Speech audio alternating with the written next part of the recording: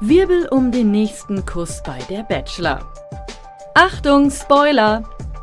Bei einem romantischen Date mit Feuerwerk kommen sich Bachelor Dominik und Kandidatin Emily näher. Doch musste beim Kuss der Regisseur etwa nachhelfen? Wie Zuschauer mit einem TikTok-Video festhalten, wollen sie bei der Szene eine Regieanweisung gehört haben.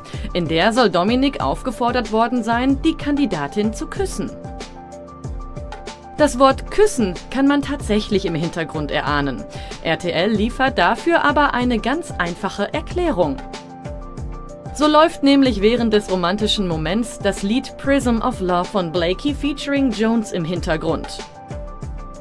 Zugegeben, Prism und Küssen hört sich sehr ähnlich an.